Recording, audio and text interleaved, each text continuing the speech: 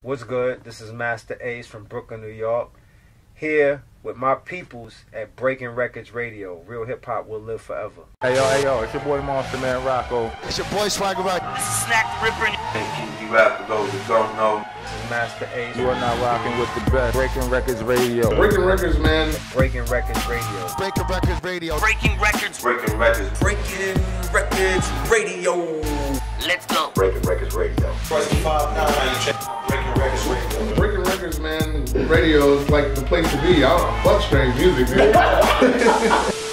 Check it out, Breaking Wreckords Radio and the place to be. You know what it is, your host Maloney, and we got a special, special guest with us right now, Yeah, man. the legendary Masta Ace. Thank you, man. What's up, y'all? How's it going, man? Well, it's a it's a pleasure to be with you in person. Uh, you were one of the first interviews we actually ever did when I first launched the radio show Okay. back, I think, what 2015, I think, an over the phone one. But um, yeah, man, it's amazing to just be here with you in person. It's good to be here, man. Uh, I, I look forward to getting back up to Canada real soon. Yeah, I hope so. Me and Marco need to definitely do a coast to coast run through Canada this year. Yeah, definitely, man. You got a lot of love and support up in Canada. Definitely. Yeah, man. Uh, we I seen you at Alma Combo when you were and uh, Marco were there last time, and you came out and opened the show with nostalgia with the backpack on, and I was chilling with Marco's mom right in the front, right there. Okay, yeah. But yeah, great show, man. You put on an amazing performance. Thank you. Yeah, I'd love to have you guys come back, man. That'd be amazing. Uh, I actually just interviewed Marco over the phone too when he was in Toronto. Oh, yeah. Because he was, uh, you know, he was looking after his pops while he was there, so he didn't Yeah. have time to link in person. But yeah, yeah, we we got a really good interview in That's as cool. well too. Good. But um, so yeah, man, I want to take it back a little bit. You know what I mean? Um, you know, because uh, you, well, you just got such a thick history in hip hop. So I mean, uh, you know, there's so much stuff you could cover. I doubt we'll touch even fifty percent of everything, but you know, yeah. um, you know, but meeting Marley Marl back in what was it, 80, 87, 88? 86. 86? Yeah. And because you won a Well, contest. 87. I guess 87 because yeah, I won the contest and then um, but I didn't. I won it in like December or Yeah. whatever, and then that was December of '86, and then when the New Year hit came around in '87, it took me from the time I won the contest until that summer to actually meet him. So I was calling, calling, calling for six months or whatever, and then finally got a chance to talk to him on the phone, meet him, and then go out to his studio for the first time. And then in that first session too, you you saw G Rap record its a demo that day. yeah, yeah. Kool G Rap was he was an unknown commodity, but but DJ Polo was known because he had put out a record already. Oh, okay. He had a record with another MC named uh, MC Frost, I think his name was, and so um, I guess Frost was in jail, and so Polo was ready to put out his next record, but this cat was in jail, and he found another cat named G Rap that he brought to Molly Studios. Like, this is my new MC Yeah. and his name is Kool G. He's, he said his name is Kool G, and uh, and they yeah they recorded um it's a demo or started recording it anyway. It was different. I, I never had heard anything like it. It was I didn't get it at first because you know sampling wasn't really happening yet. Yeah. Everything was jump programming, and so um I didn't really get it. But like a year later, I, I heard it on the radio, and I was like, oh, that's the record they were doing. That's crazy, Yeah, eh? yeah. So like sitting there, you probably never even imagined, especially G Rap's not even a known commodity at the time. You're Right. like it's just another record. Like you probably didn't even think Yeah. anything of it. Like to Nope. imagine that that record would go on to launch, you know, Exactly. and him to become the legendary MC Never he is. Never would have known. And I bet he doesn't remember me being there that first day. Yeah. I remember it like it was yesterday. That's insane, man. Was Shan was Shan there too? Shan was there that first Yeah. day. Craig G was there that first day. Shan actually was my Marley put me in the in the in the in the what he called the pre-production room, which was just a smaller bedroom. Yeah. He put me in there with Shan and had Shan like doing drum programming or something. Um, you know that I found out years later that Shan was like, "Oh, I, I didn't know what I was doing." If he put, if he put you back there with me, that meant that he did, was just like trying to get your, your your your studio hours for your contest out the way. Yeah. So that was his way of kind of like burning up hours. And he had me in the back bedroom. I didn't know I didn't know anything about equipment. I guess Shan didn't know either. But we were back there fooling around, and eventually, he heard me rap. And then I guess from hearing me rap, he decided, you know, this kid's actually okay. I'm gonna keep him keep, keep him coming back. Yeah. So after my six hours was up, I kept coming back. Oh, word, eh? Yeah. So like, did he hear you that day in the booth, or like he like heard the don't know if- records after and was like, oh shit, like, Like that's we nice. we eventually laid a couple of demos down. Yeah. um, and I guess from hearing those, you know, he liked what he heard, and and he decided to have me keep you know coming back and and, and, and laying down joints because I laid down a few demos before we got to the Marlon Marlon Control album a year later. Okay, so none of those demos ended up being your records on in control then. No. Okay, okay. And so Shan, would he was doing the program and producing the records for Yeah, you. he, he told me like recently. He's like, "I- if he put you in there with me, then he didn't he didn't care nothing about what you was doing. He just wanted to get you out the way. You know what? I, I just interviewed Shan actually, uh, what, Thursday on the phone. Okay. Had a great hour long conversation with him. We've been meaning getting him for time. But one thing I love about Shan is just his brutal honesty. Oh, it's brutal. Yeah, yeah, like absolute brutal honesty. yeah, like he yeah. has no fear holding his tongue. Like he just he just says what he's feeling, how he's feeling it. And, Yeah. But it's crazy to think too, like he's ba- he's there just fucking around with equipment, not knowing what he's doing, and then he goes on to produce Informer for Snow. How many years later? Which Right. is he just just got picked up by the Doritos commercial. Just got picked Yeah. up by what Daddy Yankee as well. Like yeah, I it's like that. Yeah, crazy. insane. Like you know. It, worked out well for him in the end, you know what I mean? To Absolutely. be back there just hitting them knobs and switches. That's that's crazy. And then so uh, obviously you went out to uh, join the Juice Crew and stuff, the infamous verse on uh, Symphony, which we kept, we talked about when I interviewed you last, and I'm sure you've talked about a million times that that record being made. So we won't even touch that. But um, with uh, the Take a Look Around album, Mister Cee did a lot of production on there as well as Marley, right? Yeah, he got he did three. He got credit for four, but he did he did three. Oh, okay, word. And um, well, question. I, you don't have to answer if you don't want, but was it was there any production you handled in that phase where you didn't get credit for it? Well, I, if you look at the album and take a look around, it says co-produced by me. Yeah. Okay. Okay. So I got co-production for the entire album. Yeah. because I really did have a hand in almost every track. And bringing the samples there and stuff. Bringing- and, I just didn't know how to work the equipment, but I was walking in with records from my mom's collection saying, "I want to sam- I want to rap over this piece." yeah. you know, and you know, Marley would obviously put his magic on it and drum program it and make it sound dope, and then I would rap over it. So- Okay. So did you bring the Grand Funk Railroad for Music Man to him? Um, no, that was actually his record. oh, word. Okay. That was his record. Word. Um, we were towards the tail end of the album, and we had we had done a late late session, like probably up till four or five in the morning. So I woke up early though, and he was still asleep, and um, I was just fooling around with his records, just going through his records, going through his records, and I found that, and I put the needle down, and I was like. I was like, oh, that's dope. I brought it back again, and somehow or another, all the way up in the bedroom, he heard it, jumped out, came running downstairs. What's that? Move out the way. And he like, move out the way. Boom, and he like immediately started making the beat right there, right there on the spot. Oh, word. Eh? Yeah, crazy. And and that was like that was we thought we were done with the album, and then that record was like one of the last joints. Wow, hey, that's Yeah, crazy. yeah. And a lot of times when I talk to artists, I find that that happens. Like they'll have an album complete, and then one of the records that ends up being like one of those classic records on the albums ends up being one of those last minute things, Yeah, like that just kind of happen. Yeah. Like even K Cut from Main Source said that about like live at the barbecue. Like that was just one of those last joints that just kind of they're like, ah, album was done, but you know, and Yeah. it's it's crazy how that happens, but.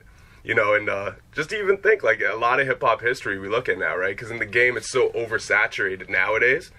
But back then, there was only so many avenues you could take, and like you know, like G Rap for example. Like if if Frosh never got locked up, Right. people wouldn't even know who G Rap is. You know, Maybe not. Eric B. Or yeah, maybe not. I shouldn't say Yeah. shouldn't, but uh, wouldn't. But like even uh, Eric B. Rakim, because Rakim was a standing guy. I think I think it was Bumpy Knuckles who was supposed, Was supposed, to to first. be in that spot. Yeah. Yeah, like it's just it's insane how like you know these little things that happen in hip hop history change the complete course of it. Absolutely. And even you like you know being persistent, calling Marley for those six months. You know if you if you weren't persistent, you know, and uh, just to even think like a lot of hip hop history we look at now, right? Because in the game it's so oversaturated nowadays. But back then, there was only so many avenues you could take, and like you know, like G Rap for example. Like if if Frosh never got locked up, Right. people wouldn't even know who G Rap is. You know, Maybe not. Eric B. Or yeah, maybe not. I shouldn't say Yeah. shouldn't, but uh, wouldn't. But like even uh, Eric B. Rakim, because Rakim was a standing guy. I think I think it was Bumpy Knuckles who was Was supposed, supposed to to first. be in that spot. Yeah. yeah, like it's just it's insane how like you know these little things that happen in hip hop history change the complete course of it. Absolutely. And even you like you know being persistent, calling Marley for those six months. You know if you if you weren't persistent, The one thing that I think about is that um, when I was in um, middle school, my mom was was was really uh, trying to move to Atlanta. She was trying to get this job in Atlanta. Oh, and She was really really close to us. The plan was that I was going to start high school in Atlanta. oh shit. So so when I was in eighth grade, she was like, you know, after you finish eighth grade, get ready to move. We're, Yeah. we're going to be living in Atlanta, and so it just so happened that whatever that job was that she thought she was going to get, it didn't work out, and then she wound up having to come back to Brooklyn. And I think all the time, like, what if that job didn't work out? Yeah. I would have like a lot of stuff wouldn't have happened. That contest wouldn't have happened. Yeah. I mean, I might not have ever stepped into a studio and recorded a joint. Yeah. So there you go, and there's another one of those examples. So It's crazy, eh? you- things are happening the way I guess the way they're supposed to happen. Yeah, they're all meant to be, right? And do you- like, and that's actually one thing I'm curious of too. Like before that competition and stuff, like you're obviously you're writing stuff because you said that symphony was one of those like verses Yeah, you just had to like spit on the spot for Yeah, people, right? yeah. But did you have that? Like, were you? Did you see this as where your life was going at that point before the contest No. and stuff, or was it just kind of a hobby? Nah, it was just we just did it around the way. It was just like Yeah. know, bragging rights at, at your school or Yeah. in your neighborhood. Be the Um, fly dude, get some yeah, girls yeah, on you. It wasn't really like it wasn't the thought of making a record or, or even making a career out of it was definitely nowhere near my mind. I was just like, yo, I rap, I have fun doing it. I'm I'm good at it, whatever, whatever. But I didn't see that as a career. That's why I went to college. I was I was knocking out the books trying to trying to get a degree What, what, what did you go to college for, actually? for marketing. Oh, really? Yeah, yeah. I started off as a chemistry major my first year. Oh, my dad did chemistry, actually. and um and then I took that first calculus class and I was like I don't think I because I, I didn't take calculus in high school that's what it was I was just too far behind Yeah. everybody else um in, in my classes had taken pre-cal when they were in high school and I didn't take it so the math part of it just threw me off and I wasn't able to I couldn't hang Yeah. so I, I fell back and I went to marketing Oh, so that's insane, man. So, you, yeah, like the course of hip hop history, like if your mom would have got that job, Yeah, I would- literally would have been I might not different. have even been I wouldn't might not have had ever had a, a rap career That's insane, man. Yep. That's insane. And then, um, I mean, to move forward from that too, because I know you've talked about, you know, your your affiliation with Juice Crew and stuff a million times. So we'll we'll move forward from there. But one thing I was curious is in an interview, I think it was when you're talking about um the sitting on Chrome 20 year anniversary, but you said like when you signed with Delicious, because it's yeah, it would have been Delicious at that point, right? But uh, you were arguing with them and you wanted to change your name because uh, you were tagging Ace One at the time and stuff, and you, you the way you worded it was I want I didn't want can't remember specifically how you were. Basically, you didn't want the relation I don't to want the any old affiliation with yeah I don't want The any Juice affiliation Crew with, you. with Cold Chillin cold chilling you. with that label because you know that label had really done done wrong by myself and a lot of other artists and I felt like that first album Take a Look Around was phase one of my career and now this is phase two and I don't want anybody to even remember phase one Yeah. I wanted to just go with a clean slate I wanted to start with a clean slate that's what it was And what like what was it over at Cold Chin? Just like the same things other people complain about, not getting paid properly, the royalties, all that like- stuff. all that stuff man it was just like they didn't run if they had run their label the right way and taken care of their artists in the right way you know they could have really flourished as a label They could have been like a Def Jam. They would have been. that. I mean, they Yeah. were at, at that time. You know, late '80s. Cold Chill and Def Jam were one and one A. Like they were literally neck and neck, Yeah.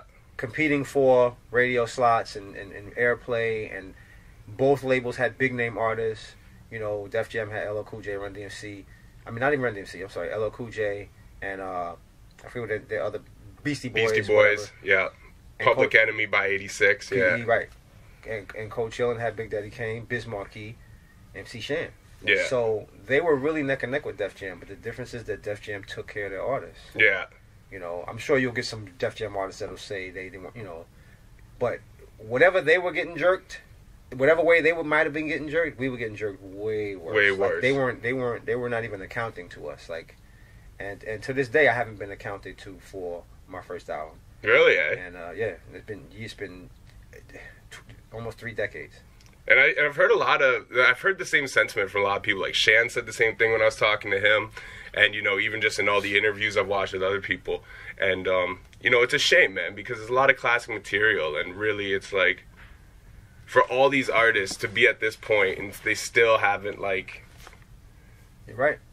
like it's That's um. it's disappointing, really. Those are bad choices by, you know, Tyrone Williams and Lenny Fichtelberg. They were the two heads of the label, the president and the CEO, and you know they didn't. Uh, they did, they they looked at all the money that was coming in. They looked at that as their money, yeah, and so they were they were out living the living the big life, champagnes, parties, limousines, yachts, You know, like literally, Like- like that, like, eh? like that, Wow. like like literally spending all this money up that was supposed to be for artists and for their budgets. And you guys are still taking the train and shit to come to the studio. I know and- Shanté was taking the train up until like her first album came out, and her, she was like, "How am I taking the train with a with a one year old and everybody else is and, and Marley and Fly Ty, these guys all got brand new cars, and I'm, Yeah. and I'm taking the train. It doesn't make sense."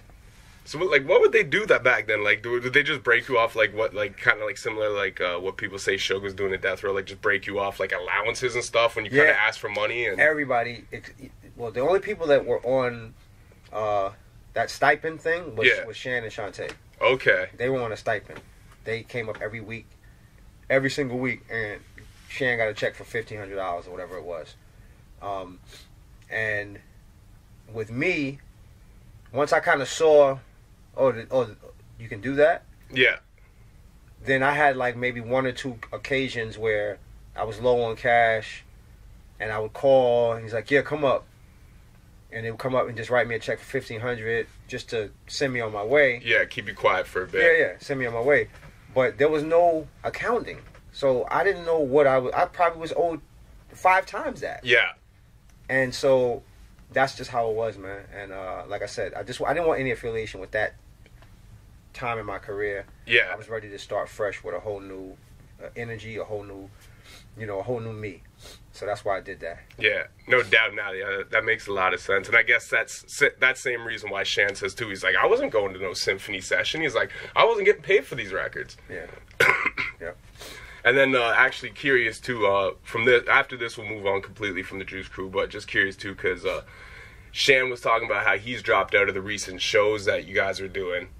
The, the most recent show. The most, re- yeah, because I talked to him. I think literally the night that it was happening, or like the Okay. night before or something. Yeah. But um, he said he was just got off the phone and was dealing, but Yeah, that was Juice Crew Glamorous calling me. Oh, they word. asking me why I ain't doing a Juice Crew show. Oh shit! That's shit. another story. You know what I'm saying? It's like I'm doing Juice Crew shows. We got a Juice Crew reunion tour, right? Yeah. How come is it Shan is the only one doing one song? Everybody else gets to do five and six or whatever. You know, they get to do what they do. But whoever's in charge of this Juice Crew shit now, mentioning no names, feels that my fans are, and, and are not as important as their fans. That oh, my fans only deserve to hear the bridge. That's all they know of yours Say word. Not knowing, yeah, not not not understanding that it was my songs that held the Juice Crew up before you niggas got down. Okay, so don't act like oh, all of a sudden you came along and that you took it to a new. No, I held this spot while you was doing what you was doing. You know what I'm saying? Yeah. So don't come tell me what my fans deserve to hear. And so that's why you won't hear me doing any more Juice shows. And I'm not down with that Juice Crew thing anymore. Unless the promoter contacts me directly in order for me to do a show along with the Juice Crew. The person in charge cannot book me anymore. Cannot say how much I make. Cannot say how much time I have on stage. Cannot say anything. Is it, would that be the same sentiment then? Like, does Fly Ty those guys? They still own the name, or has it been bought since then? And no, Flat Tire's not. I don't know who owns what. yeah, Um, you know, one Mr. Magic, I guess, created the name. I don't know. I don't believe that it was ever copywritten or anything like that or trademarked. okay, And so Fly Ty just kind of uh, claims it, like uh, like as if he inherited it from Mr. Magic when he passed away. He thinks he owns the name, but clearly there's no ownership of that name yeah, and we're able to do tours with it, and we will continue to do tours with it. If Ty would like to create a lawsuit, because he won't, because he hasn't paid because he doesn't have the evidence either. because Yeah, he hasn't paid anybody. So, for him to bring a lawsuit against artists that he hasn't paid, it's gonna would be burn stupid. him. Yeah. Yeah, so he'll just sit back and complain and talk junk in, in his in his cheap cheap suits, and and that'll be that. Yeah. It's a shame, man. It's a shame because the legacy is really like, you know, like you said, like, you know, Death Row and Cold Chill in that era of hip hop, like, that's what you remember. You know Mm-hmm. what I mean? Unless you really were there at the time and you knew all these other underground cats who were putting stuff out, like dudes my age and stuff. You look back in history, like that's the history you really know. You know what I mean? Absolutely. It's a shame, man. But to move forward, um, see, Ace One was your graffiti tag. Yeah. So you you're do- you're burning for years then, I'm guessing. I Eh? don't want to say years. Like I really, when I was in high school, that was when I kind of discovered graph. Um, there was the, the documentary Style Wars came out. Yeah. I saw that and I just like was like, what? I don't know what this is, but I want to be a part of it. And so, but by then, by then there were like all these big time, you know, graph artists in my neighborhood doing their thing. So I was trying to get to know who those guys were. I got to meet a few of them, and um, It's a very underground community though, right? So it's hard, it's hard to get yourself in there. Yeah. super underground. And so, and and you know, I I- I was still at that age where, and my grandmother, my grandmother was my my, my main um, guardian at that time because my mom was down in Atlanta trying to Yeah. make things happen. And so, um, you know, I couldn't be out one, two in the morning bombing trains. Like I, I was, I had to be home at a certain time. So Yeah. I wasn't that like those guys were all older than me, and they were out three, four in the morning, coming home, you know, paint on their hands and all that stuff. I couldn't do that stuff, so I was just kind of like right in my neighborhood, Yeah. in my building, in the elevator, in the hallway, and that was kind of my uh, introduction into graph. Um, and then I went to college. I went to college in '84, and then uh, so for those four years in college, um, I wasn't going to be writing. I thought about it. Yeah. And I was like, I can't be in here like bombing in, bomb up to school because it's gonna, it's not going. to I'm gonna get caught. Uh, yeah. Now we're getting kicked out of Yeah, college for yeah, yeah. yeah. So I fell back from it, and then uh, after my uh, second album dropped in '93, uh, uh, Slaughterhouse, um, I met some some some graph artists from the Bronx. Uh, shout out to my man Louis, Louis 167, and Rule, and this other kid Trap. Those guys are all from the BX, and I met them one day at a part at a hip hop party, and they were telling me, "Yeah, we write, we we bomb all the time," and I was like, "Word, man, I never really got to bomb. Like now I'm adult. Now I'm Yeah. an adult. I don't have to be home at a certain time. Can I go with y'all?" And they was like, "You serious?" I'm like, "Yeah." So they was like, "All right," and we exchanged numbers or whatever. And in '93, when my second album dropped, I'm taking the train, driving really up to the Bronx, parking and going, climbing fences, going through holes in fences, walking through all kind of garbage and junk to ride on freight trains and walls and all this type of Oh, stuff. so you did get to hit up trains Yeah, and stuff but before they like- cleaned them all up. And yeah, shit. yeah, but it was like it was like later um, in my in my in my life. I was like was I was an adult at that point, but um, so yeah, I did get to, the chance to um, you know kind of realize those dreams of really going out and bombing on the streets and stuff. yeah. Um, but it was way later, and it wasn't for years and years. It was just for a few, and then I then the Vandal Squads came, like uh, a couple years later. That cre- all coming with Giuliani and shit. yeah, they created the Van. No, it was after. It was before Giuliani. Was it Yeah. okay? But they created the Vandal Squads, and so the Vandal Squads, um, their job was to find out who certain writers were, Yeah. who what their real names were. They would actually do investigations, and I was like, well, I got videos on TV. I probably shouldn't be. I'm going to be the easiest one to catch. Yeah, yeah. So I, at that point, I just kind of like fell back.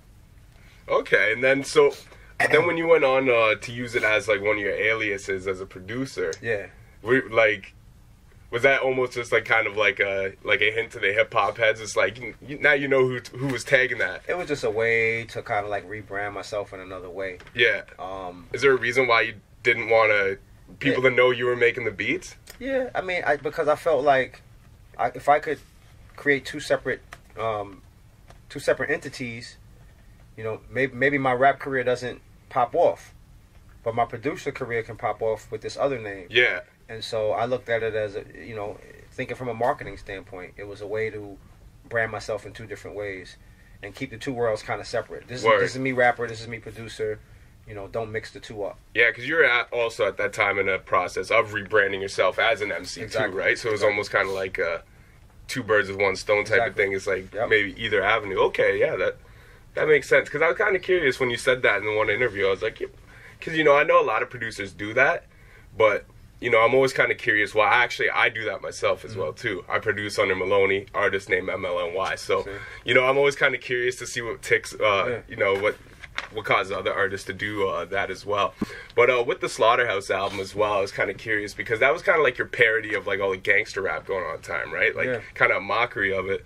And then when you did Sitting on Chrome, it was like what you said, your compromise album Yeah. from the label because uh, Born to Roll worked. Yeah. But um, they're both kind of like you know the gangster rap was a heavy West Coast sound, and even though like cause sitting on Chrome wasn't wasn't really sarcastic, right? Like you're into car culture and shit, right? So it was kind of like an Yeah. honest album still. Yeah. But did you get flack from LA at all from like the fact it's like oh yo like you're mocking gangster rap and now like where they might have thought you were mocking the car culture and stuff? It's it's it's so weird. Um, I I missed the flack. Yeah. From LA, because they didn't make the connection between the guy who did the Slaughterhouse song and was doing that that par- that parody record. They didn't make the connection between that guy and this new record, Born to Roll, that's now being played on the radio, tw- you know, thirty five times a day. Yeah. So I kind of, they were like, they didn't, they didn't work, they didn't care about that. Yeah. The only people that really knew that it was the same person was the artists that were inside the industry, like Ice Cube and OC, you know, uh, those guys. Yeah, yeah. And uh, Mack 10 and those guys. Um, so I just kind of, I I avoided it. I avoided that flack because the connection wasn't made, and maybe it's because those records weren't that big. Yeah. So because they weren't that big, they didn't get to the mainstream audiences so that they knew, oh, this is the same guy that, that was doing that record that's now doing this record. Yeah. Um, so that that that that's that's the easy answer. But I did get a lot of flack from New York. From New York, yeah. Major flack. Because Slaughterhouse, even if they if they didn't catch the parody, they're thinking first you're doing almost a gangster rap record, and then the Born to Roll. They're like, Yeah. why you why you so West Coast? Yeah, they just thought I was uh, like trying to pander to that sound, and really I was just trying to combine the two worlds and make something new. And you're rebranding yourself at the time Yeah, too, right? yeah. So it's like almost separating yourself as far as you could from that Juice Crew image, Yeah. doing something new. But um, one thing I'm curious of too is because you were probably one of the first New York rappers to ever kind of experiment with another Sound. another sound from a different uh, coast, right? Yeah, I mean, arguably, because Yeah. this is my thing, right? Born to Roll was the record that everybody pointed to and said, "Oh, that's some West Coast stuff. That sounds like West Coast music." Yeah, right? yeah, But the record that I sampled was a Def Jam record yeah, that was that that, that was that came out on Def Jam that played on the radio on the East Coast. All I did was rap over that same beat yeah, but it was just that the West Coast sound at that time was a throwback to production from the early New York days. the funk stuff. Yeah, No, the the the 808s and 909s. Oh, okay, yeah, yeah. That stuff. So the the, the early New York. Sound. yeah. And I just put the two things together and said, okay, well they like it sounds like they like what we used to do, that, those drum sounds that we Yeah. because Marley Marl had a, a rolling 808 machine and he used to use it all the time on all his records. They like bass. They like the boom. So all I'm doing is reaching back to the 80s Yeah, and and and, and rapping over music from that time period, and y'all are calling it West Coast music, but it really wasn't. It was it was just a throwback to a time that I guess New York forgot about. because Yeah. that was our sound first. The 808s and the 909s was our stuff. until before the samples, heavy samples really came. started. Yeah, Exactly. yeah, that's crazy too. And then, like, and now you look at hip hop, and a lot of artists complain about how there is no identity coast to coast. But like, it, it wasn't until I was watching you once again the 20 inter- the 20th anniversary of sitting on Chrome, and you said you're like, you know, I was kind of in a, in a, in a sense with the way it was viewed, one of the first dudes who were like, um, kind of dabbling in like you know another coast kind of sound and it's like wow it's crazy because i never would have made that correlation and now you look at it and it's like the identity is so gone from almost everywhere Yeah, there's no no no borders now. no and how do you feel about that personally like do you wish there, that that certain areas still had their own sound or do you Yeah, like it, do. everybody I, do nah, everything I, I miss the fact that New York has lost its identity. yeah um, you know, we had an identity. We we and we were, in a lot of ways, we were kind of like the leaders of what was going on in hip in hip hop. We we led the way in terms of what stuff sounded like, yeah and I thought it was cool that the West Coast adopted their own sound, that the South kind of created their own sound, um, but that all of those sounds were able to coexist um, together on the radio and in clubs and stuff. You play some West Coast stuff, you play some South stuff, you play some East Coast stuff, and it all worked. Yeah. And I hate the fact that, um, you know, that New York artists now you can't tell that they're New York artists. Yeah. The, the music, the, the way they're rapping, the cadences, they they have no connection to what New York is supposed to sound like because they were raised on New York radio, which in the last what 15, 20 years has been a lot of down south stuff. Yeah. Um, New York New York radio has really um, kind of ushered in this new phenomenon, which is cats from Brooklyn rapping over trap beats, and and it's because that's all they hear, so that's what they think it's supposed to sound like, Yeah. and that's too bad. Yeah, I agree. Well, because I mean myself, you know, I I personally think the New York sound that's my favorite sound, right? And not to be biased or you know what I mean, hate on anything else, You but like that's you know, like. exactly that's what connects with me. Those you know, basically like. 86 to like 96 basically that decade is just like it's perfect like I, I i can't listen to a lot of new hip-hop you know i give everything a chance especially you know with doing media and stuff you have to you know you have to have an open ear Of course. but i in my spare time, if I'm gonna go check for some new shit I never heard, you know, I'm 20, I'm 29, right? So I didn't, I was a little kid when all that 90s shit was happening. Right. So I go back, like I just started listening to like Poor Righteous Teachers like Mm. a few months ago. Like holy shit, is that a tapped, go, untapped gold mine of just like incredible hip hop? Yeah. You know what I mean? But it's like I'd rather go dig in the crates and find some stuff that existed prior. That like it just makes me like it makes me break my neck, opposed to like try to force myself to like some stuff that all sounds like everything else Right. you know and it's a shame kind of that um that that's happened in hip hop but and I, and I think it's interesting too that like you, really you think like you would say it's the radio stations that really made It is. the It is. Um, because they used to support their own and then Yeah, I mean it, they at, at one point, like I said, New York led the way, and then at some point, New York started to follow. New York radio started to follow. Other radio stations of other regions would listen to what New York was playing, and they would play that, and maybe mix in a few of their local artists. yeah But then when the South, uh, when the, when the artists in the South started to really, you know, break through without the help of the East Coast, yeah the, the, the East Coast DJs were like, oh, well, that's big out there, so maybe we need to play that. And then they started. It just became. I mean, they could have done that, but they just needed to still. They should have still supported the sound that was coming out of New York, you know, naturally, and and they they abandoned it completely. yeah all right and um so yeah man so to move on a little bit forward from that too and um like you got so much history in hip-hop man it's crazy it's honestly it's insane and um I think like I my personal opinion, your top ten greatest MCs of all time. Like I think your catalog is just I appreciate that. This, you know, you ask hundred people, you get hundred different answers. you do, yeah. which I, you know, I, I respect for those that, that put me in their top list. That's great. I'm happy to to hear that. I, you know, if I made a top ten list, I wouldn't put myself in there, Yeah. um, but I definitely, uh, I, I, I feel like the fans that uh, that that put me that in their in their list like that are the real thinkers Yeah. and and and the, and the fans that go beyond just the beat and the braggadocious raps, and they like something that's a little deeper and more thought provoking. And so I think that's what I kind of speak to in those fans. They like music that's thought provoking, that that uh that evokes emotion, makes you feel a certain way, um, and that's what I'm good at.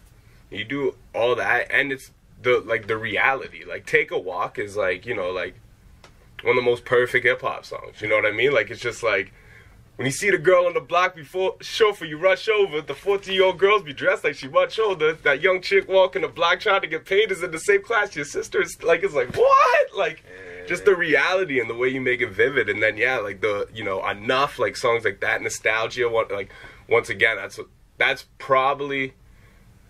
Well, I don't know if it's my favorite record of yours. It's my favorite record of Polo's. Right. Um, but like that's like top twenty hip hop songs of all time to me. You know what I mean? I love that record. Like it's just the reality in it. You know what I mean? Like, you know, and but the thing I like is when you go back in your career, you've covered all these other avenues of hip hop before you got to like the disposable arts ace. Right. You know what I mean? Like disposable arts and forward is my favorite material of yours, but I like how you have that versatility. You know what I mean? Like you proved it all throughout your career, continue to rebrand yourself, and that's what I think makes you a great. You know what I mean? It's like even disposable arts forward, you'd, you'd still be top ten. But I think it's just it's, just incredible, man. You got so much history in this game, and I just you know I really appreciate what you do. Last time I talked to you, you said you were never gonna make another solo album again, and technically you haven't. Well, I think no, you did put one out in like '16, didn't you? Yeah, the the falling season. Was, Yeah. was me kind of going back on my word a little bit. Yeah. yeah. But for the most part, you've really actually held your word because even if you did like an album, you know, it's with Polo. So it's you know what I mean? Or Like, over um, Doom Beat. Yeah, exactly. so Yeah. even if it's you as a solo artist, it's still a collaboration effort. So you know, um, because that, that's one thing. You know, I, I, the game needs artists like you. You know what I mean? And, I, and every time I hear you know cats like you like t- thinking about hanging it up, it's like, man, you can't, you can't. But you gotta do what's right for you too, right? So I do. yeah, You know, there's um, I have other, I have other aspirations, uh, other other things I want to do with my writing yeah, because I still want to write. I'm still a writer at heart, and uh, so I'm still gonna write. Um, but I'd like to try some other things out, and so I'm working on that stuff now. I'm, I'm actually writing a a, uh, a musical uh, for theater. Oh, really? Yeah, yeah, yeah. Um, and it's uh, it's loosely based on the, the stories, the storylines on Disposable and A Long Hot Summer. Some of the same characters from, those, from those albums are in the in the musical. Um, you'll hear some familiar names, um, and, uh, and and it's loosely based on my you know my life, my upbringing, and and my circumstance. So I guess the falling season is also in there too. So it's a it's a fictional story, but it's based on those. Based on stories. reality, yeah. No, that's super cool. That's really dope. I think that would be really interesting because the way those albums are done too, right? Like, and the prelude being Hot Summer, and then Yep. yeah, I, I think that would be really cool. And before I do move on as well, just talking about all the avenues you cover, the one I forgot to touch is your concept songs are crazy. Oh, thanks, man. You know what I mean? Like Hold You and stuff like that. Like, um, and on the new album, like um, the one where you're battling with MS, Oh yeah. like Fight song. yeah, like man, just the, the concepts as well. It's just like like you hit all those buttons, and then you do have punches. Like you do have r- r- records where you're braggadocious and Yeah. and and you spit bars. You know what I mean? Like you touch all the. You, ch- you check all the boxes what makes a great and overall well-rounded MC to me. You know what I mean? Appreciate it, man. Because for five years, you uh, you know you were releasing singles and stuff, but you were kind of you didn't really have a single home, right? Like you you released records under like singles under all these different labels. Yeah, I was I was kind of done. Is that is that why you just kind of you would I make was- a I was kind of done, like because I, I I did an album with uh with, with uh Atlantic Records, Big Beat Big Beat Atlantic, and uh in '98 I believe it was they decided to shelve it, like they just decided not to put it out. oh so, shit So that just like kind of just killed my whole vibe for the for the industry for the music. I was like, I'm done with this, and I really left it alone for like from like about early '98 all the way to 2000. I was like, I ain't, I'm not messing with it, and then slowly, some the feeling started to kind of come back. So those records that you're talking about was me trying to see if I still felt it. okay So I started throwing little singles Little out. I Lucy's did- I- out yeah, I did something with J Love. I did another single was with uh, the J Love was that the one uh, Hellbound New York Conf- Confidential. Okay. NY Confidential. The Hellbound joint was uh, on um, the uh, Game Over compilation. 'Cause that was was with Eminem who was the other guy I Jay, thought J-Black. Jay Black that's it Yeah. that's it I was trying to think of his name on the Yeah. way here and I'm like fuck I can't remember his name Yep. So, uh, but yeah, all those little records that I popped up on between like '99 to 2000 through, through 2000 were me trying to put my toe in the water and see if I really still felt like I wanted to do it or not. yeah And then obviously in 01 I decided to do it.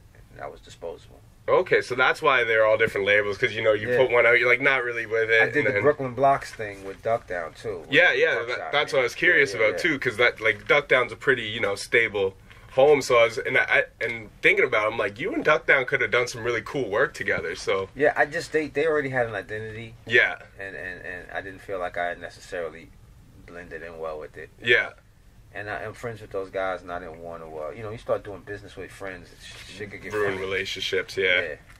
Okay, and then before uh, going forward from there too, uh, I was curious. So that was the Hellbound. Was that the J-Black's record, or was that your record? That was n- neither. That Oh, was okay. That was a, a that was a, a game over compilation song.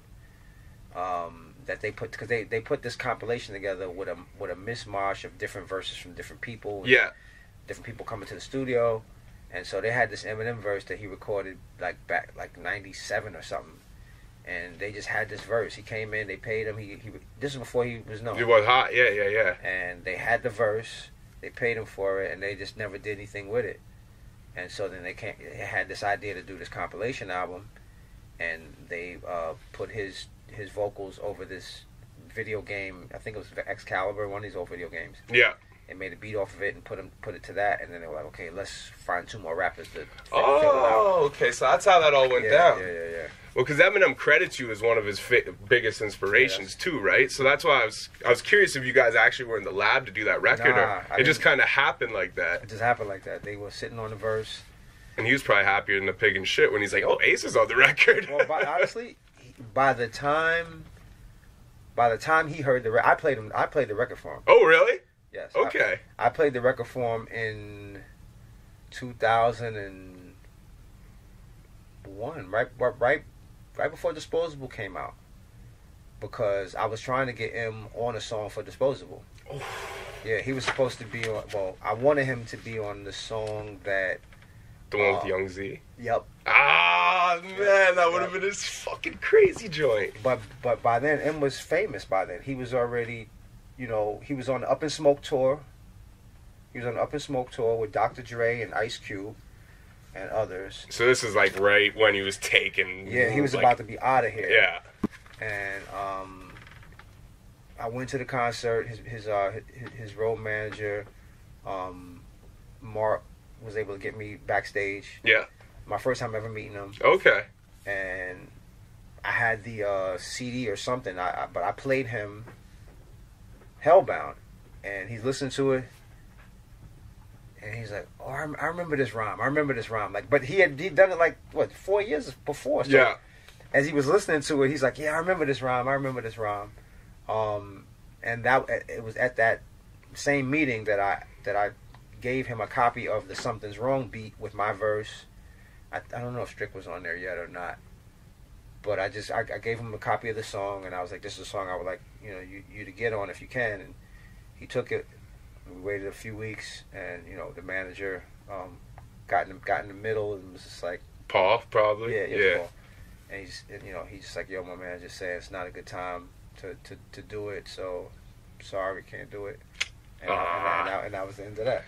It's unfortunate too, man, because not only would that have been a great record, but you know, um, you know, like with with researching Eminem, there's there's a few points in his career where there's opportunities handed him, like stuff like that, where though he might have been out of here, you could tell as the hip hop fan he, He was, wanted he wanted to do it, He wanted to and do it. Paul's persuaded him kind of not Yeah. to do it. Like uh, that's kind of how him and Canibus's thing kind of started too and stuff, Yeah. and just like you know, as someone you know who loves the art form that much, it's a shame to see that because like a I- I- record. as I think back on it, like I don't, I don't know what Paul. I never asked Paul what his reasoning was for not letting him do it, but I, I don't see that it would have hurt his career in any way. No, not at all. If anything, it would have got the under. You know, I think he might have been afraid because if if M gets on a record like that, it opens up the floodgates. yeah, and then his asking 50 price comes people, down. But, but not even that, but fifty different people are now going to be asking him to. You did a song with Masta Ace. You can do a song with me. yeah, You know, and I can only imagine what the pressure of that could turn into. So Yeah. that that, that could have had something to do with it.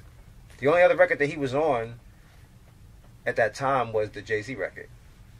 yeah, Renegade. Yeah, that was, yeah, that was the only record that he did. yeah. It's really the only feature, yeah, in those first few years that he did do, aside from like aftermath stuff. So it was kind of like Paul saying, you know, we got to pick and choose those those those features very carefully and make sure you're that you're aligned with big big names that are either bigger than you or on the same level as you, and that, and and so that's why. Yeah, But for the love of hip hop, I wish he had done it. yeah, same man. That would have been a crazy record. And you had Zee on there too. The Yeah. Outsidaz, like Zee was Zee was. I asked Zee after M wasn't able Okay, to do it. I 'cause he kinda well, fit that at least pocket. Outsidaz, yeah. Yeah, yeah. It, it makes sense. That's dope, man. That's really dope. And um, well, if Eminem, hopefully you hear this someday, because I know Eminem's in a different spot now. He can do whatever the fuck he wants. I'd love to hear an Ace and M record. Anything's possible. That would be big, man. That would be really big, just for hip hop. You know what I mean? But um, one thing I do want to ask about too, because my favorite producer of all time. I didn't realize how far you guys went back till I seen a clip uh, just a few days ago. But it was DJ Premier talking about how you guys, the first time you met was out in L.A. We met before that. Oh, had you? Okay. yeah. We we That was both your first time road. in LA. Yeah, yeah. Okay, Yeah. okay. So what? How, how did you and Preem originally meet up then? I met Preem. I met Guru first. Oh yeah. Okay. So me and Guru, fellow MCs, whatever, Brooklyn, and so we would hang out. And then he was. It was at the time that he was working on the No More Mr. Nice Guy album with Preem, and so he had me come to the studio. I met Preem at the studio. Actually, the studio that they were working out of was called Firehouse, Yeah. and they introduced me to the engineer Firehouse, and that's where I worked on Slaughterhouse at. Oh shit. So, eh? so, so that's how that whole thing came about. Like like literally, um, I was like, yeah, I got to work on this album. I don't have a studio. Come check out this spot that we work out of. Yeah. They brought me over there, introduced me to the the, the, the studio owner, and I and I decided to do my album there. Oh shit. Eh. Yeah. That's crazy. Yep. And so when you met Guru, then had he already started working with Preem, or was this back when he was still wor- working with the other producer? No, he was he was already working with Premier like early though. Like Yeah. they were just starting to they were still getting to know each other too. You know what Yeah. I'm saying? Like um but yeah, they were they were still getting to know each other. Um and I was around in the very beginnings of Gang Starr. Oh, And man. We would go to parties together and meet each other up at parties and talk to girls and all that kind of stuff. Like this is before anybody had a plaque or any kind of real notoriety. It was just fellas that love the music and love the culture, just all hanging out together and just enjoying enjoying life. Yeah. Yeah. And was that before? Would that have been before your first album as well too? Then, or in the mm, pro? No, That your album would have been out by then, yeah, my first album was already out. because that was '88, right? Or was that 89? First album was ninety. 90? Oh, okay, Yeah, okay. yeah, so I'm oh, because Mr. Nice Guy, yeah, was Yeah, yeah, nine- okay, yeah, yeah. Nice Guy might have been ninety one or ninety two. Yeah, I think maybe? 91. somewhere in there. Daily Operation 92. Yep. Yeah, yeah. Yep. Okay. Oh, that's crazy, man. And then uh, for Guru, like, d- I know Guru um, at a certain period had had a little bit of a wild side to him. Do you got any like a little bit of a cra- wild a little bit. I mean, he you know, he would he would he, when he got drunk, he would just get a little a little out of hand at times. And yeah. I, I, I, I remember, you know, at D and D, kind of having to talk him down off the ledge a little bit because he got a little little hyped up over the over the liquor, and he when he he's one of those one of those uh, people that when they drink too much they want to fight everybody. Yeah. And you know, Premier was very very very cool and calm though, and and so I think that because of Premier's demeanor versus Guru's, I started hanging out with Premier more than Guru because Yeah. I wasn't I wasn't that wild, crazy, out of control drinker dude.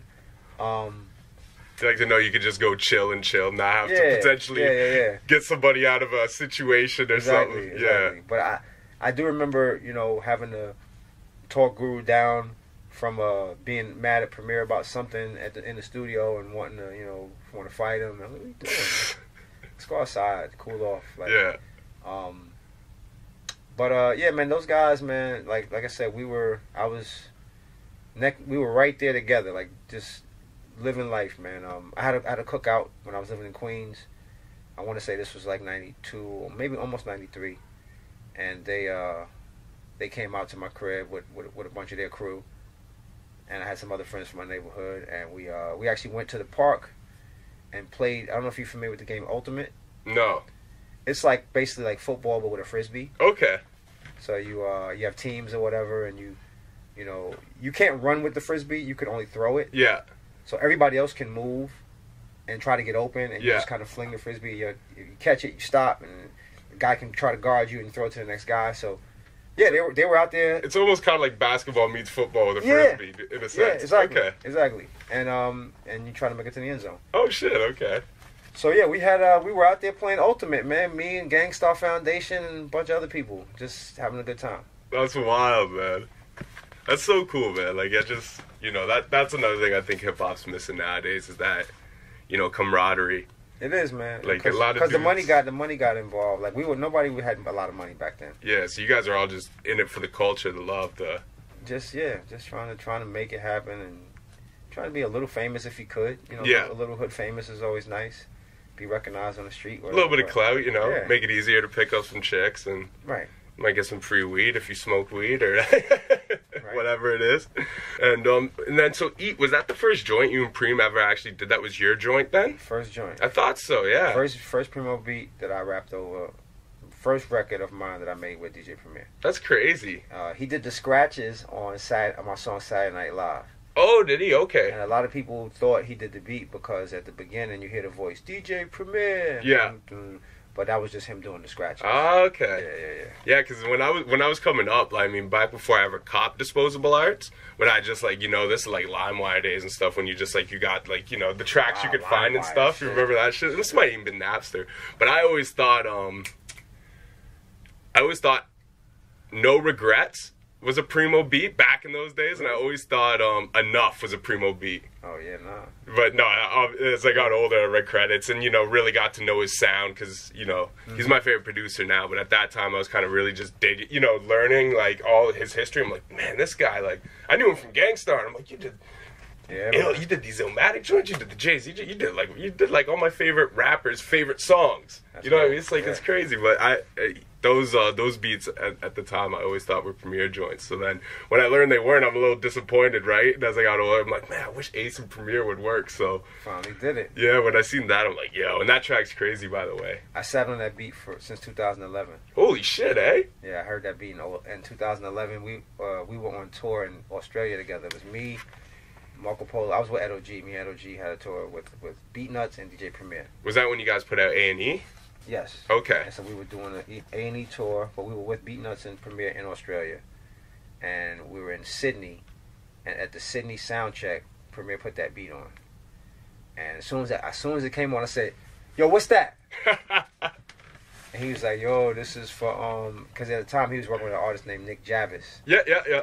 and uh, he's like, "This is Nick Javas joint," and I was like, "Yo, I need that right there." He's like, "Yo, it's his beat. You gotta talk to him."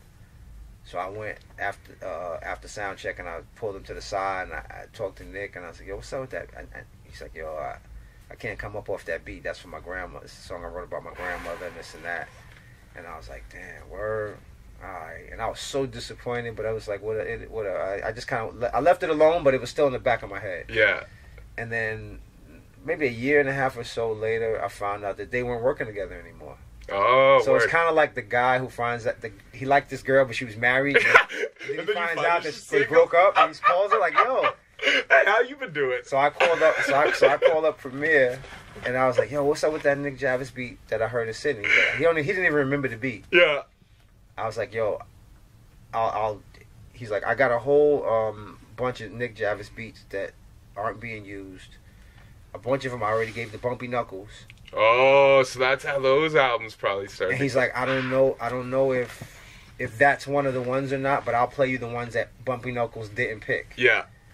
And we sat in his car, and I was like, that one, that's it right there. He's like, it's yours. I was like, bet. And I said, and I, and I had that beat since that time. So it was 2011 was when I first heard it, and I, I got possession of it in 2000, probably 12, around there, 13, and I've been sitting on it ever since. Holy shit, eh? Yeah, yeah.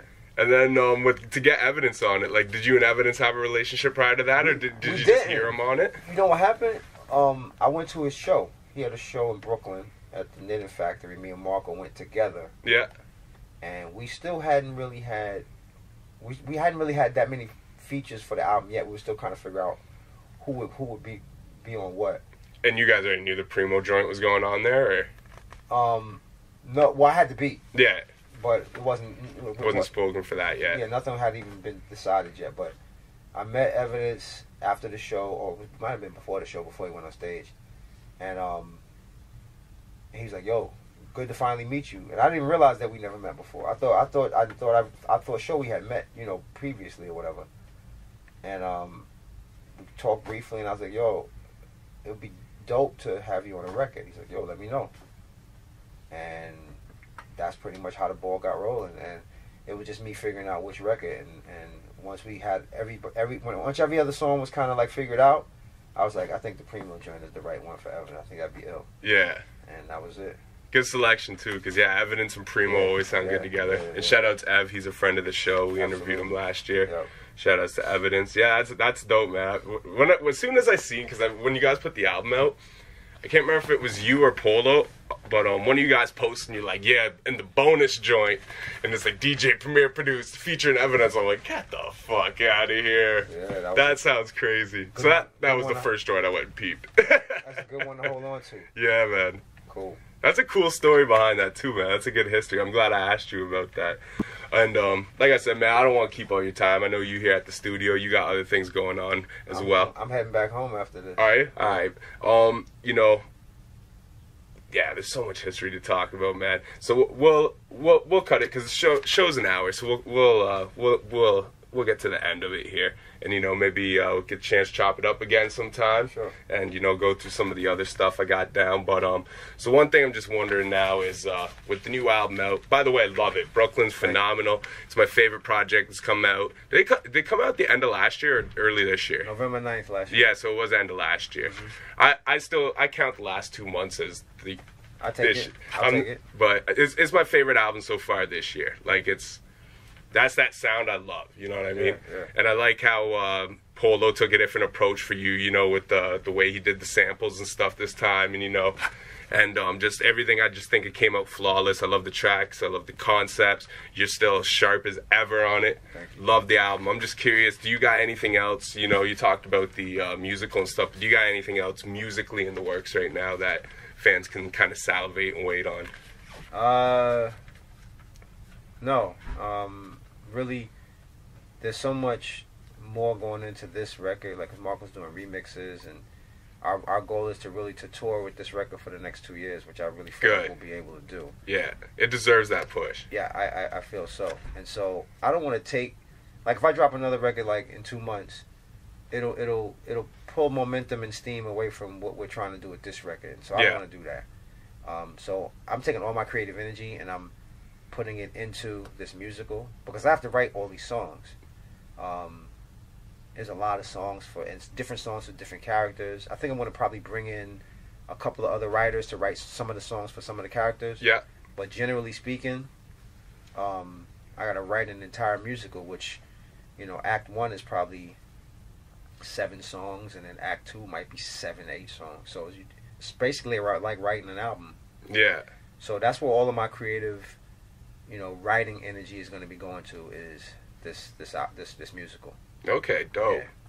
Yeah. man, I look forward to that. That'll be awesome. It's gonna be cool, man. It's, gonna, it's coming out. It's coming out really good. I'm, I'm, I'm it's so crazy because when you're writing a story like this, um, and it's and it's you know a fictional story, but kind of based on real life. So th- there are there are fictional aspects of the storyline that you have to create, and so coming up with the ending and what's gonna happen with the characters.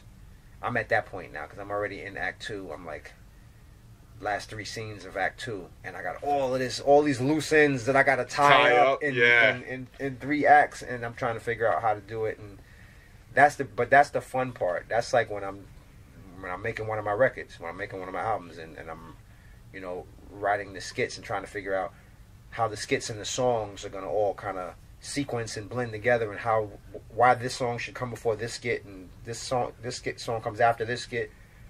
So I'm at that point of of, of, of sequencing and figuring out the all of these storylines for all these characters, and um, it's going great. But I'm definitely at a at a big pivotal moment in the writing, and I'm like just sitting there like, what do I do? How do I do this? How do I fix this?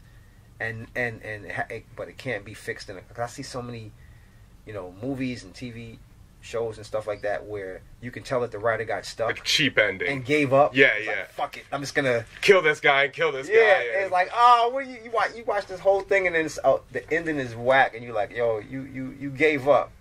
So that's that's that's my my goal is to tie this thing together neatly, nicely, in a way that the people that watch it and see it are gonna feel good and happy with the way it went. And so that's Yeah. where that's where I'm at. That's that's the tricky part, but that's the challenge, and that's the great part about writing. And actually, with you saying that, it reminded me of one other thing. I, not, there's no question about it, but I, and I don't know what your story is, so I don't know if, if this could be a horrible suggestion. But one thing that could be a cool way to tie it end, you know, that joint 2040 you did with Kid Tsunami, Oh, that shit is so dope, man. You know, I don't know. I see. I don't know where the story goes exactly, but I mean, just on the base, you know, because that's kind of like you seeing yourself in the future. I don't know. I don't know if that works or anything. that's a cool suggestion. I'm not. I don't. I don't know that If it would work, but Right, it's not. It it, it, it could work, but yeah, you know, my my vision for the way that it was going to end, that takes it doesn't go that far into the future. Yeah, yeah, so, yeah. So that's the only thing. But but I, I like that idea though. That song's that song incredible too. I did want to bring that up to you because I Thank feel you. like that's a joint that got slept on a lot. And that song, That's cool. That was a cool joint. I really like that joint a lot, It was fun to write that. And um, but yeah, man. And one last question I ask every artist that I get on the show: um, If your lyrical style, you're familiar with Mortal Kombat, right? You used to play it, I'm sure, at some I point. was at a I was at a video arcade yesterday that had Mortal Kombat and the whole the whole entire arcade was old school old school video. oh, word, eh? You name it. Frogger, Dig Dug, Ah, man. Asteroids, Space Invaders, you Phoenix. That's not in the city, is it? it's in Jersey. Ah, okay. it's it's a worth it's a worthwhile trip, man. Oh, I'm telling man. you. Actually, you know what? I, when we're done, I'll look and see if there's one in the city. There might be. There's one in Staten Island. It might be one in the city. Word.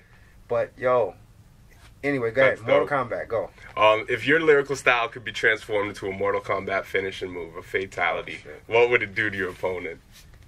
Oh man, that's a crazy question. Um, I feel like my style, it's not, it's not like, like Wu Tang is like razor sharp, cut your head off, pull your spine out, and all of that, like, you know, blood and guts everywhere. Yeah, I feel like my style is more internal. yeah. So you would bleed from the eyes, bleed from the nose, and just like, and then your like your your your skeleton and your insides would just liquefy, and you would just fall into a pile of just like a rug, just drop.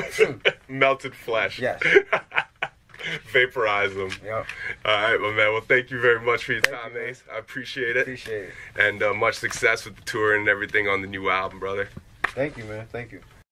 Yo, what's up? It's your man MLNY Maloney, Breaking Wreckords, Breaking Wreckords Radio. You know what it is. I'm just here to tell you guys right now that you want to, if any of my smokers out there, basically, any of my Canadian smokers, now that it's legal, what you got to do is you got to head over to thccollection.com and check them out. And make sure you use the promo code hip hop. That's H I P H O P. And that's all capital letters. Save 10% on every purchase that you make anytime. They got everything. They got deals every single day of the week, which include like free whatever with whatever you buy. And uh, my favorite is Tulip Tuesday. You can get $100 ounces and that's only on Tuesdays. And you save 10% on every purchase with the promo code hip hop, all caps. That's H I P H O P. So make sure you go over there, check them out. That's THCcollection.com for all your good medible needs, for all your good gr- greenery, your extracts, and all that good stuff.